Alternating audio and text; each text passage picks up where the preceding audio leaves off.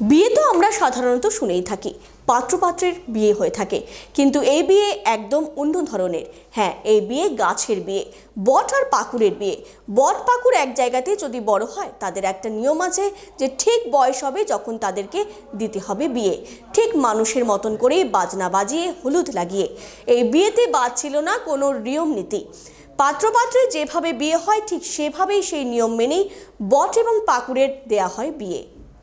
বর বেশে সেজেছিলেন বটগাছ, পিতা হয়েছিলেন কল্যাণ মোদক, মাতা হয়েছিলেন সন্ধ্যা মোদক, নিবাসী শান্তি কলোনি, কালিয়াগঞ্জ। কনের সাজে সেজেছিলেন পাকুর পিতা ছিলেন রাজা দাস, মাতা ছিলেন প্রিয়া দাস, বাড়ি শান্তি কলোনি, কালিয়াগঞ্জ। এই বিয়েতে প্রায় পাঁচ হাজার লোক খাওয়া দাওয়া করে। মেনুর লিস্টে ছিল ডাল, ভাত, সবজি, চাটনি, দই, মিষ্টি থেকে শুরু করে সবটাই বট পাকুড়ের বিয়ের আয়োজক ছিল সম্রাট ক্লাব।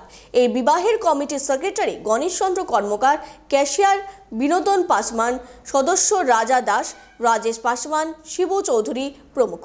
এটা হচ্ছে আমাদের হিন্দু ধর্মের একটা রীতি রেওয়াজ আছে, প্রথা আছে যে বট পাকুড়ের একটা নির্দিষ্ট সময় পর্যন্ত যখন বট পাকুড়টা টিকে থাকবে, কোনো গাছটা যদি লাগানো হয় দুটো গাছ যদি এক জায়গায় থাকে তখন এদেরকে মানুষের যেভাবে বিয়ে দেওয়া হয় ঠিক সেরকমভাবে তাদের বিয়ের একটা প্রোগ্রাম করতে হয় বিয়ে দিতে হয়।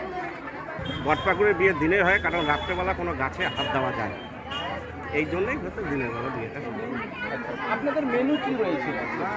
আজকে আমাদের মেনু আছে খিচুড়ি দু রকমের তরকারি পায়েস বুন্দিয়া চাটনি এই।